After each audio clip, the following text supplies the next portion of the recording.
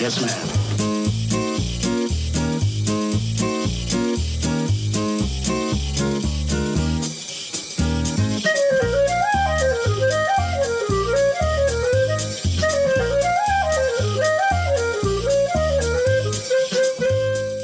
It is September 20th, 2021, and you are listening to episode 37 of the Candid Clarinetist podcast.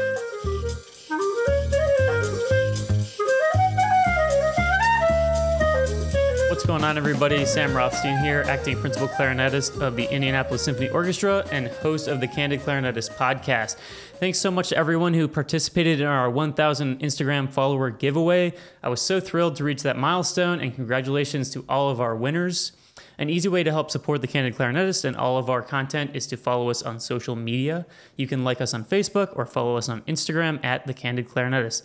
Also, please be sure to subscribe to our YouTube channel as well as give us a rating on iTunes and subscribe to us on your favorite podcasting platform. On this episode of the podcast, I am joined by Kelly Riordan, who is a clarinet teacher and coach. Kelly has developed a program to train other musicians on how to build a private teaching studio, and I thought it would be valuable to have her on to talk about what she does. Before we get started, if you have any questions for Kelly or interested in the services she provides, you can contact her at kellyriordan.com. Welcome to the podcast, Kelly. Thank you so much, Sam. I really appreciate it. Of course. So, can you briefly describe your career and sort of how you've wound your way to where you are now? yeah, yeah. Well, I obviously, like most of us, lifelong musician. I started music when I was very young at I think age four or five, somewhere in there was my first piano lesson. Um, but I was lucky enough to study at University of Wisconsin Milwaukee for my undergrad with Todd Levy, who's the principal clarinetist for the Milwaukee Symphony, of course. Uh, after that, found my way down to University of Georgia, where I studied with Dr. David McClellan for two years for my master's program. And then a few months before COVID, found my way back to the Milwaukee area. I live about a half hour, 45 minutes outside of the city. Uh, my parents are a little bit further west, so it was nice to come back after graduation because it'd been been a little wild. The South was good, but I missed snow, sort of. You're the only one. Uh, but you know you say that, and then the first time it snows in Georgia, and then everything shuts down because they don't have salt trucks. Oh yeah, I Changes lived in your mind really quick. yeah, I lived in Virginia and it snowed every year there, but every time it snowed, it just like completely yeah, it was like a like, shock. Yeah, yeah, so I think our county had one salt truck that they had bought like a year or two before we moved down there, so it was it's not gonna be enough. Yeah.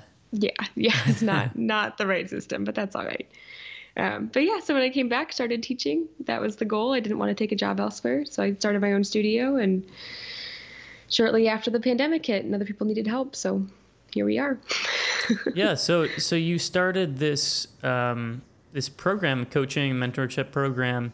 Um, and I, I read the testimonials on your website, and it's fantastic. I mean, everyone had Thank such you. great things to say, such great things to say. Um, what sort of got you? Uh, it was it your own success that drove you to start this program? that's that's a phenomenal question. Um, i when i started my studio in about three months i grew it from zero to 40 students. You know i just relocated. I didn't have anyone in the area at that time. Where i ended up settling is in between where i grew up and then the city of milwaukee. So all the contacts that i have are just far enough away that a beginning clarinet student is not going to travel you know a half hour 45 minutes for a lesson so I had to work really, really hard on building new connections and networking and creating an environment that was successful for myself. And when everything closed a few months later and you know, March 2020, we all had to move online, my students came with me. I didn't really give them a choice, to be totally clear. Yeah. I just told them, you already paid me for the month, and this is what we're doing. And if you absolutely hate it, then we'll reevaluate later, but we're trying this for the next few weeks. And it worked really well. Everyone stayed. All 40 of my kiddos, a couple adults too, moved online, and it was great. Um, a couple weeks in, I was realizing that I was not.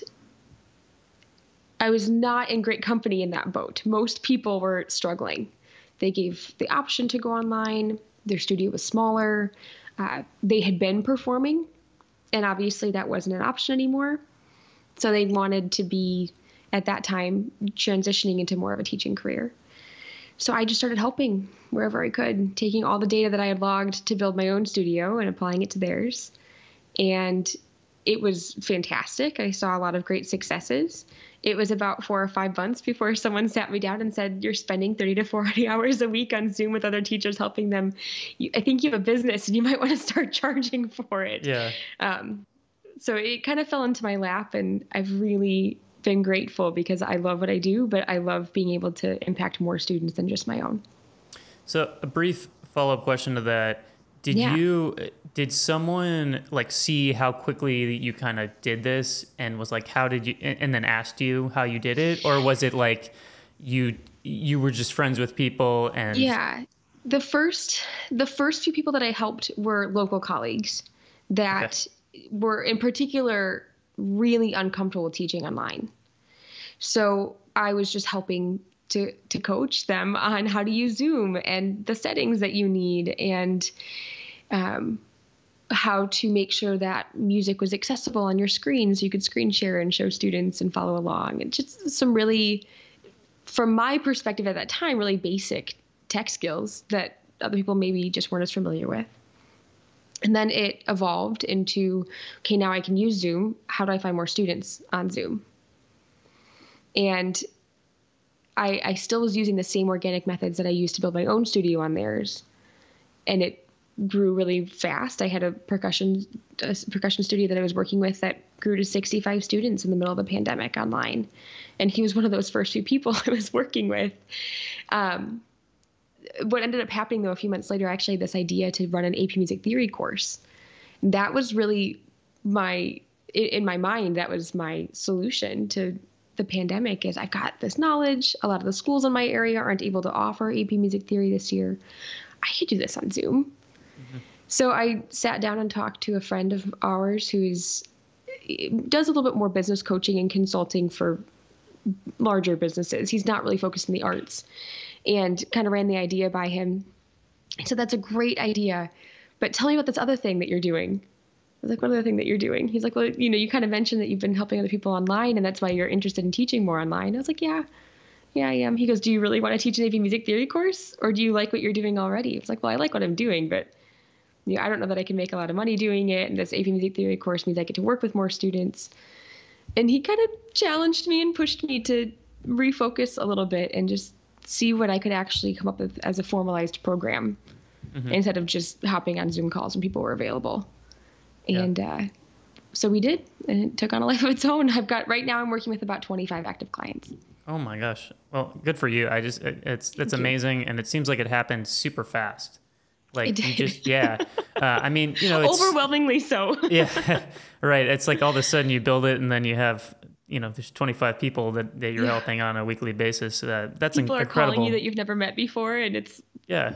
wild. It's Well, great, it's I mean, wild. good for you. That's that's just that's awesome. I mean, Thank that's what we all kind of dream of is just you know creating this thing that that other people want to consume. You know, that's part of the reason why I started doing what I do, uh, and I didn't have nearly the success that you've had apparently. so, um, so congratulations uh, on that. oh, thank you. Um, and it seems like you, you know, so you moved back to Milwaukee. Um, and, and was it wa- was the sole goal It's just like you wanted to teach privately, like that that was what you wanted to do with your degree and Yeah. At that time, so a little bit of background. When I was in high school, I worked as an intern for a local conservatory, and there was a music store in the front. So I was mostly working for the music store. But part of what I got to do was that when people would call and ask for recommendation for lessons, I got to learn a bit, little bit of that process and help them kind of get registered and get in contact. But all the teachers were independent contractors, so I was really just that initial starting point, and then I would help them you know get referrals mm-hmm. into the into the studios so i'd been around teaching and fresh out of school to me it was really clear in my mind that that was the fastest way for me to have a livable income. Yeah. and you know taking auditions obviously there's so many factors. And somewhere in my grad program i started realizing that it's not really where i wanted to invest my time. Um, it's exciting to me. I love playing but i really love playing chamber music. And that takes a little bit more self-funding to get going than you know just taking auditions and so i wanted to have something that would pay the bills so i could sustain this dream of mine and i have a trio that i perform with out of athens georgia that you know non COVID times, we do travel and perform together. So I wanted to have funding for that. I knew what I could make. I did the math on what people in my area had previously been charging from my recollection. Like, oh, I could make some decent money if I can fill this studio. Yeah, for sure. So I invested my time there. I knew I didn't want to take a job outside of music because the odds of you coming back into music after that are a lot lower. So that was my big push. That's where mm-hmm. I wanted to be. Awesome. Um, so you mentioned uh, eventually you sort of formalized this coaching mm-hmm. uh, business. About how long after you sort of started the initial conversations with people and helping people out did it become the formalized thing that it is today? Probably about four or five months because so, it would have so been March of last then. year. Yeah, it was about March of last year that I was starting, you know, right at the beginning of the pandemic, starting to help yeah. people. Okay. And it was, it was about a year ago now. Last September, I think, is when I actually sat down and wrote a plan uh-huh. and tried to figure out what I was doing and what was working for people, and um, you know, put together a significant amount of resources and try to consolidate it all into one place instead of me just sending individual things in an email as I was talking to people and tried to actually create a, a structure that was duplicatable mm-hmm. for for studios. And is your is your program uh, pretty prescriptive, or is it kind of like it depends on?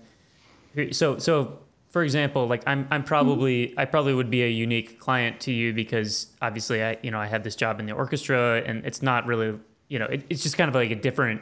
So, so mm-hmm. would my plan be a little bit different, for example, than than someone, uh, you know, graduating from undergrad? Yeah, yeah. I mean, the biggest thing is when we're getting started. If you are looking for ten hours a week or less of teaching, it doesn't need to be a significant push. So most of the the studios that I'm working with are wanting to be at that like 15 to 30 hour a week mark where teaching would be their main income. I have a few exceptions to that, of course, but those exceptions are usually people like I've got a couple clients out in LA or in New York that are vocal coaches that are charging 150 to 200 dollars an hour. They only need 10 hours right. a week of work, so that's what they're going to do. But we're also finding a higher level of clientele for them, so they're not looking at you know eight to 10 year old beginners. They're looking at students who are ages 14 and up and are looking to be in the industry and want work and want to take this as a professional career. So where we spend our time is a little bit different. It's all the same strategies. We're just okay. targeting a slightly different group of people. But what we want to do is make sure that from the get we really understand what the goals are and who you want to be working with. So it is okay. it is specific to each person's goals. Um, for example, I, I also work with multi teacher studios or music schools.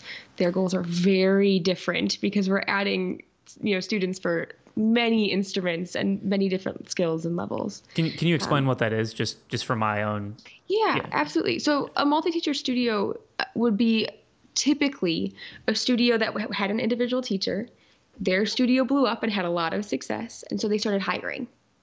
And they're usually comprised of other independent contractors, and then that key person at the at the head of the multi-teacher studio is just kind of delegating leads out to out to individual teachers um, versus a school which is a little bit more of a conservatory style where they have an office and they're taking in leads and doing the marketing and then dispersing those to employees gotcha okay that makes sense uh, well, that's terrific because because you know obviously it's not you know it's like with anything else like one size doesn't fit all.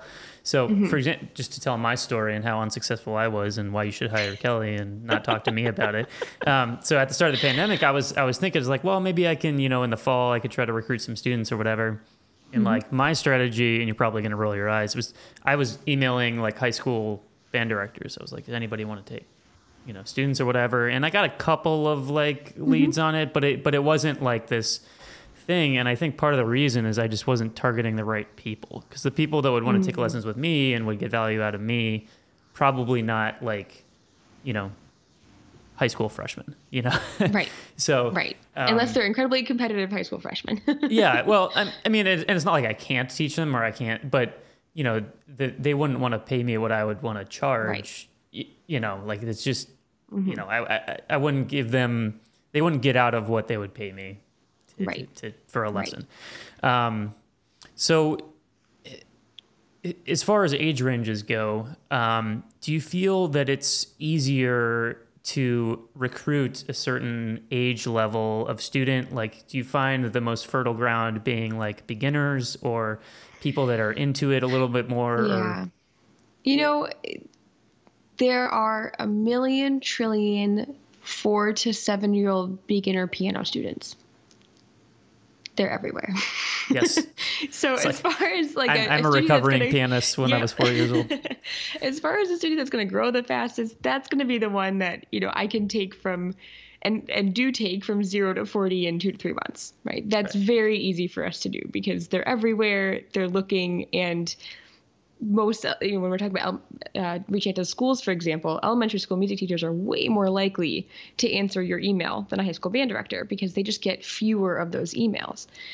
Um,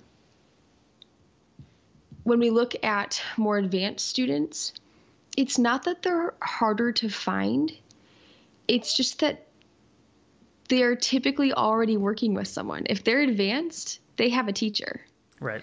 So there's two two parts here. One, when we're looking for advanced students, a really great thing for us to do is actually to network with the teachers they might already be working with. When I was in high school, my junior year of high school, my teacher who I'd been with for 8 years, who phenomenal player, incredible teacher, had gotten me from 8-year-old Kelly whose fingers could not even reach all of the keys on the clarinet but was persistent that this is what she wanted to be playing mm-hmm. to you know winning competitions and i was principal for my orchestras in the youth orchestra and i you know was getting solos at school and things were going really well i was in state honors all that great stuff she sat me down at the end of my junior year and said i'm no longer the teacher for you That's that's And- very humble of her because that's often Oh, not the case. Yeah. Yes. But she knew that with what I wanted to do and that I wanted to have a career in music, the person she recommended was Professor Levy at UW Milwaukee. Mm-hmm. And so I reached out to him and had a trial lesson, and we went down that path. And I ended up working with him my senior year of high school. Loved it. Stayed for my undergrad because it was a great experience. But I would not have taken that leap on my own.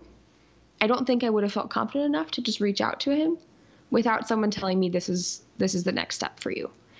So for a lot of advanced teachers, it's finding the teachers that are teaching the beginner to intermediate and even into a little bit of advanced, but are going to going to need to pass students off at some point.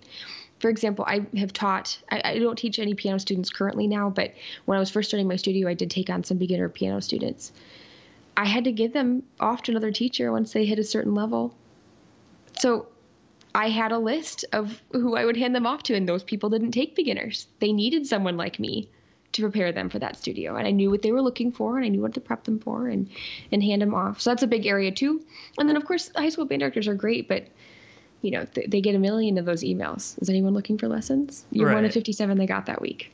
Yeah, and do you find that like okay, so just I mean, I guess you teach on, online now, Mm-hmm. but um, do you have certain schools that you teach out of? So, for example, like you're the clarinet Mm. teacher at uh, you know X and Y High School. So I actually rent a commercial space Okay, because I, when I was first teaching, when we first relocated, I was teaching at my one bedroom apartment, and my poor neighbors were so incredibly patient, but that needed to change. um, so I rented a commercial space nearby that actually has a lot of music teachers, and they've got this great setup where the owners of the building are musicians, and the rooms are sort of soundproofed, and we can, you know, have our have our own little spaces, but we can share a room. So if I'm not there five days a week, for example, another teacher can take on part of that lease and we can share share that space. Um, so I am not appointed at any schools in particular right now. What I am, I am appointed at the Waukesha County Conservatory. That's one of the, the areas that I, I teach in, and that's actually that commercial space. It's all independent teachers. They call it a conservatory. It's not a traditional conservatory structure. Um, the other advantage of being an independent teacher and not being a teacher for a school is I set my own rates. I set my own schedule. And when I need to move things around, I move things around. If you're mm-hmm. working for a, a music school or if you're working at a high school where the band boosters, for example, are paying you, you're incredibly limited on rate and there's overhead. So What would my the overhead's overhead a be? flat rate. the overhead for a, a band booster program sometimes they take a cut out of that to feed the booster program unless they themselves are paying you but then again they've got your hourly rate set at what they can afford the other overhead is that and this isn't an overhead so much as a, as a limit. There's only so many clarinet students in that school district. And if they can't make it on tuesday night which is maybe the one night i'm at that school now i don't get those students. They go elsewhere. Gotcha. you know instead i'm in a position where i can pull from all of the area schools and i have students that are in i think five different school districts. Gotcha. so that's a big shift. Um, otherwise overhead you know in, in, if you're not renting a space and you're working for another school they're taking about 40 to 60 percent of a cut out of every lesson you teach wow. I guess I had a, a different experience, but it was probably because I went to the high school that I taught at, so I, I got a little bit of a, a better deal, I guess. yep Uh, this was a while. This was ages ago, but Yeah. but yeah. Um, but that's great advice. I mean, that I remember I was limited by uh, scheduling because you know Mm-hmm. the uh, whatever the you know they had testing that week, I can't teach, or they have Right. uh, you know uh, they're on a band trip or whatever, like I can't teach that week. So there were Mm-hmm. Well, and limiting when factors. they're on winter break or summer break you have to take off too You can't. Yeah, exactly. Uh, interesting. Yeah, really interesting. So you, you mentioned that obviously who you're targeting and who you're teaching is a, a big factor in how quickly you can build your private studio. So you mentioned beginner piano students, obviously very fertile. Um, what other aspects play a factor on how quickly, um, you know? So, for example, let's take my my case. I'm very introverted. I don't really, you know, would it take me longer than someone who's more comfortable sort of doing all these various things? You know, my my perspective on this is it's more about the goal and why the goal is important to you. So the people that I, I find that do best in my programs are people who number one, not afraid to ask questions. If they don't understand something or if they need support, they you know, I've got a Facebook group for my clients and they're posting there on a regular basis because they need help. If someone is hesitant to ask a question, then we can't progress them. Um, the second thing that really makes someone successful in building a studio is a time sensitive motivation. For a lot of musicians, it's like, oh yeah, it'd be nice to teach on the side, which is true. I mean, that's a, that's a great way to, to look at it as this is something that is fulfilling that I'm doing outside of my other career, or my other work. But where that can limit us is that it's something that we constantly put off. Like, I'm not going to email the teachers today because, you know, maybe like you know September 20th isn't the exact right date. Maybe I should wait until September 27th, and then we'll try that, and we'll see if that's a, that's a better date. And It's like me with put uh, exercise and diet. It's like, oh, I'll do it tomorrow. Exactly. I'll start next week. Exactly. Oh, I'll start next week. It's totally fine. You know, yeah. I, I was gonna start my diet on Monday, but then someone brought donuts into work, so now I'm gonna Tuesday, Tuesday it next week. is. Yeah. Yep. Um, so it's it's the same thing where we just procrastinate on it. So having a time sensitive goal is really important. And if it's not something that you have a sense of urgency for necessarily, you can create a sense of urgency for yourself. Part of that is accountability, you know, working with another teacher or, or talking to someone like myself that can give you a push if it's something that you're really serious about. But the other part of that is identifying what it will do for you. And some of that's doing the math, you know, income is a, is a big factor for a lot of people. If they want to add five to ten thousand dollars a month, then we're looking at starting immediately so we can do that. Um, if it's like, oh, I just like you know a couple hundred extra dollars here and there, it's probably something that you're also going to take a little bit slower. Um, the final factor is someone who really enjoys teaching. If you're looking at teaching because you think it might be a good side hustle, but you're not actually sure if you're going to like it, please, I mean, try it first, of course. But people aren't motivated to do something if they're not actually sure it's going to be enjoyable. So I've, you know, I've talked to musicians that are excited about teaching because they're excited about the money. but once we actually start to dive into what it's going to take to get there and the work that we have to put in, I frequently have people say, "Oh, this isn't actually something I think I want to do." The teaching in general, and that's totally fine. Like I'm, I'm happy to help you discover that too, so that you, you know you and your student aren't miserable in the future because you pushed yourself into something that wasn't really a passion of yours. That's totally fine. Yeah. Uh, all great advice. I really appreciate you sharing that. Um, so I, I don't want to spill all your beans here, but Oh, you're fine. do you, do you have any, you know, maybe just general tips on like just marketing, like how to market yourself, Yeah. how to, put- get get your name out to potential students. Again, like I, you know, people have to pay for this, so I'm not trying to. oh no, you're not trying to you're give it out for free, but but just maybe You're some totally general fine. general comments that people are like, oh, maybe I, I wouldn't have thought about that. Like your your comment earlier was great about how you have, you need to get to know the teachers in the area. I think I thought that was very valuable. Um, so any any Mm-hmm. there more are, like yeah there look there are three big things that we need to have a full studio and this is something that i talk about with every person i come into contact with. This is what you need regardless of if i'm a factor if you're working with someone else that's in this space. Um, you need a profitable lesson package you need a predictable source of students and you need a repeatable enrollment process. So i'll, I'll kind of dive into each of those a little bit. Profitable lesson package first. Most teachers are undercharging. And it's a significant issue in our industry because it's undercutting everyone Right now, industry standard in the US is roughly a dollar a minute, which means that if you're out of undergrad and you, you have a degree in music, you should be able to get $30 for 30 minutes or $60 for 60 minutes. Don't discount yourself less on an hourly rate. Your time is your time. And you need to hold yourself to that because the time that it took for you to develop the skill is unique to our industry. I, I remind people a lot that most of us started our instrument when we were in elementary school, maybe middle school which means for most of our lives, decades, we have been perfecting this. And there are no other careers that you have to have decided and mastered at a certain level by the age of 18 to even consider pursuing it in the future. People can decide at 18, 19, 20 years old to go be a doctor. And they get paid a lot of money. Mm-hmm. So it, it is an, an issue right now in our career field that people tend to undervalue themselves either out of modesty we, we all do you know kind of grow up in this system where we're expecting each week to go into a lesson and be told what we're not great at yet so getting that feedback on an ongoing basis i think diminishes our confidence a little bit in our value uh, the second big piece of this is that if if you were undercharging at the level of player that you are it also lowers the payment for everyone else on the line. And it, it's something that a lot of musicians struggle with is you know your rate should at least be $100 an hour. It- absolutely not less than that. Uh-oh. Maybe I should raise my rates. yeah. Sorry, everybody. um, so that people that are living in a suburban area and have you know a, a let's say an undergrad degree they're charging 60 an hour. If you've got a master's you should be in like that 70 to 80 dollar an hour range. Of course there are exceptions to this. If you live in a high cost of living area you're in new york you're in la Yeah. your rate should be higher Right. right? If you're in rural kentucky then maybe your rate should be a little bit lower based on cost of living. We can adjust for that but average is a dollar a minute. Um, and then the other thing that we have to factor into that is it's not just the time spent in front of a student.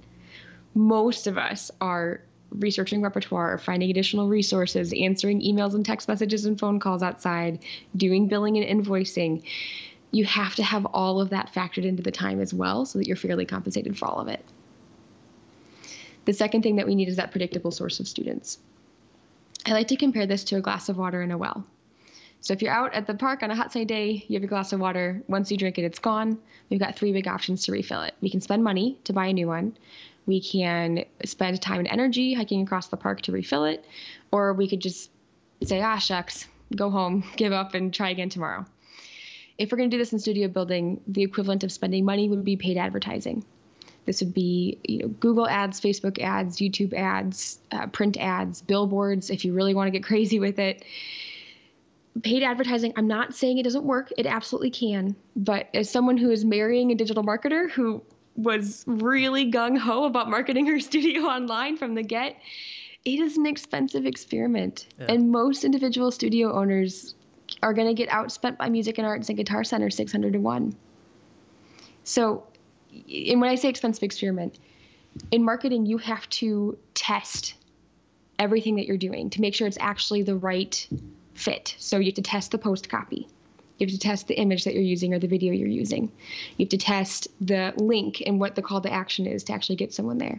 Then there's the whole issue of does your website convert? And do you have the correct content in the correct order on your website?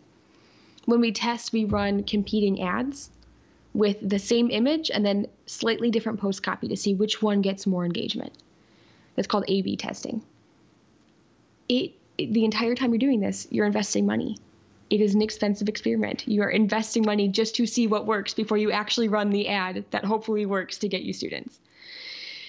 It is a lot of investment. Now, the second option, like I said, is the investing time and energy. This would be working for another school, like I mentioned, where they might have a, an overhead or a cut that they're taking. Usually that's between 40 and 60% that they're going to take out. Um, Guitar Center, for example, if they're charging $60 an hour, they're going to pay you 20 the rest that they pocket. now yeah. they have a lot of overhead. They've got big buildings. I, yeah, I get it. Right. They're running all that marketing, but um, th- that is that is their business plan. That's how it works. The other thing that we could do is look at some of these online platforms that are out there. Um, there's a million of these now after the pandemic last year. Holy cow! There, it's outschool.com, takelessons.com, LessonFace. Um, you, Craigslist and Kijiji you can list on too. Thumbtack is a really popular one. But again, they're going to either take a cut out of all of your lessons. Those average closer to 30%. You're completely reliant on their marketing and the students that are on their platform.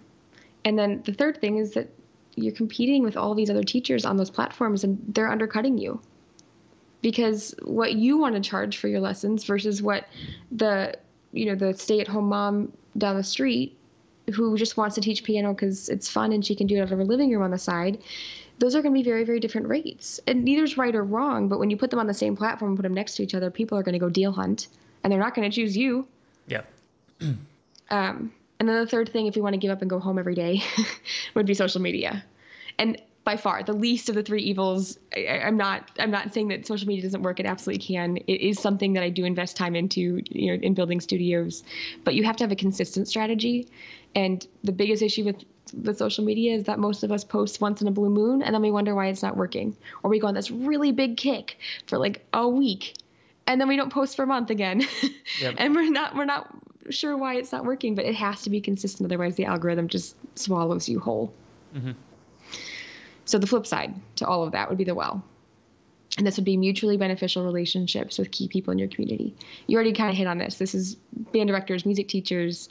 Um, this doesn't have to just be in the schools, though. This can be local youth orchestras or other ensemble programs. This could be Girl Scouts and Boy Scout troops. This could be uh, other youth organizations, like religious youth organizations, for example.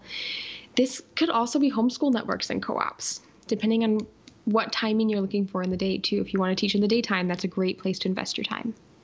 But the mistake most of us made, and I'm, I'm sorry, Sam, to pick on you, and this is kind of what happened oh, in your case. Please Do. Yeah. when we send out these emails and these mass emails, our response rate is about 1% on all those emails we sent. Now, yours, because you have a significant prestigious connection in your area, will be a little bit higher.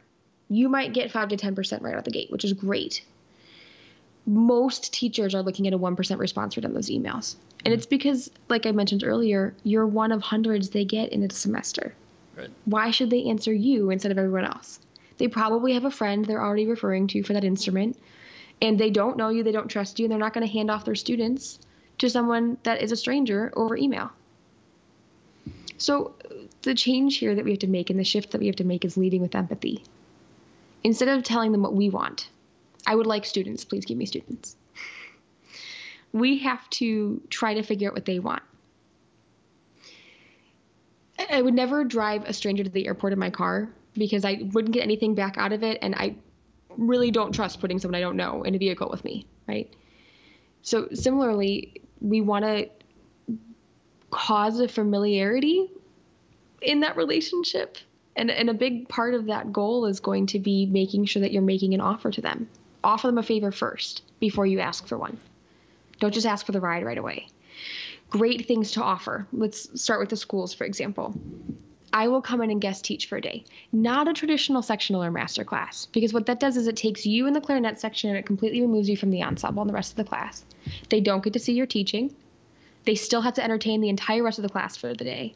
And they're trying to rehearse now with an entire section missing. Mm-hmm. So it really doesn't help them that much. What does help them is if we can teach the entire class something for a period.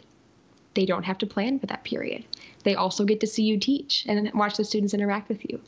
And if you can do this in more of a Socratic style and less of a lecture style where students are discussing and engaged and answering questions and everyone is participating actively, the students get a really good feel for who you are too.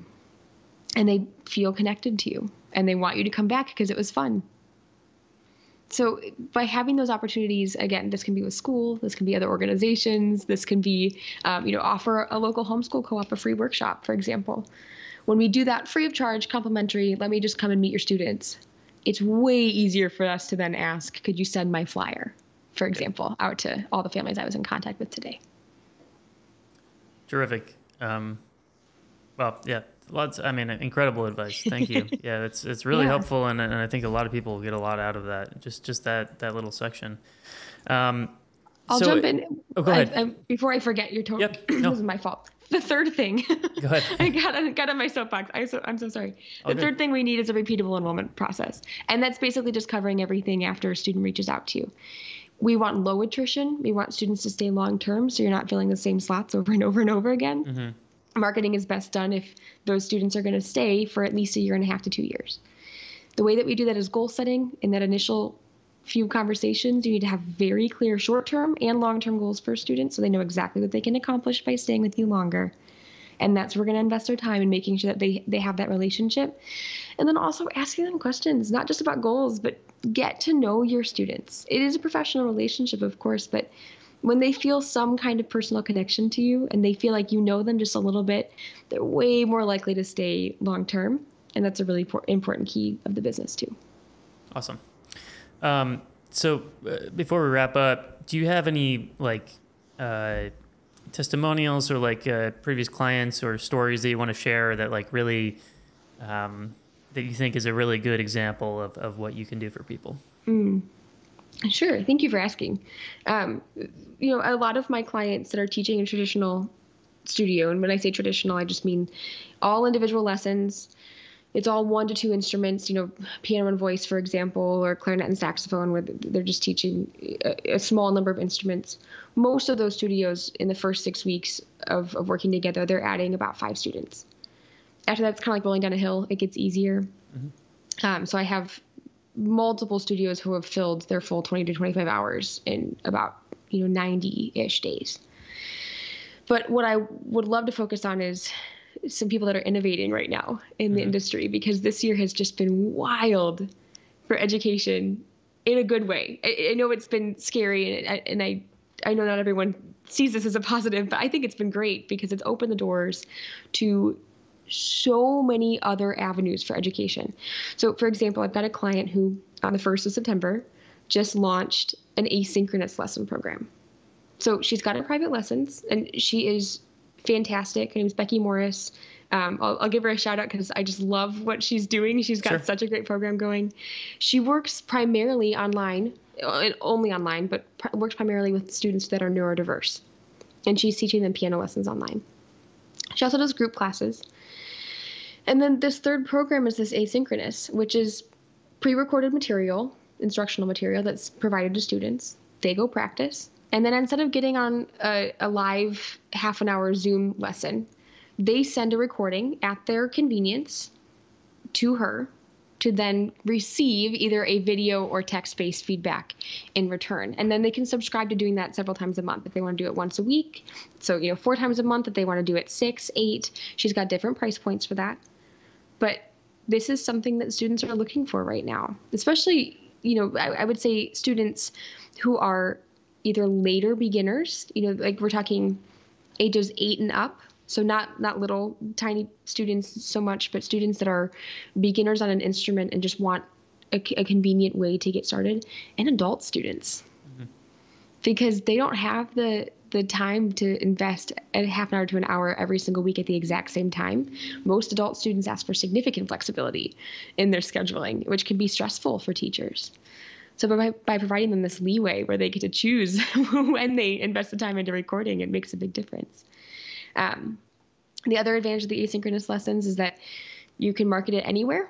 It's not just your local area. So if you want to focus on those higher cost of living areas and charge more, that is completely doable um, Becky's business with her pre registrations for next semester. I, I, saw her the other day and she mentioned that her income starting January per month will be about ten thousand dollars a month. Right now, she's a little over seven, Good for her. and just in revenue from this business. Wow. So she's got awesome things going. We've only been working together for a couple months. It's exciting to see where that's going. Yeah, that's amazing. Um, and, and thank you so much for joining me. I, I'm Yeah. to to be I'm blown away to be honest. So I, I just you know you speak so eloquently and you clearly thought about Thank this you. and you've had a lot of success. So um, before I leave you, um, Mm-hmm. uh, do you want to tell everyone sort of where you can find you, where they can find you, where the best best places to get in contact with you if they're interested in your in your coachings and services?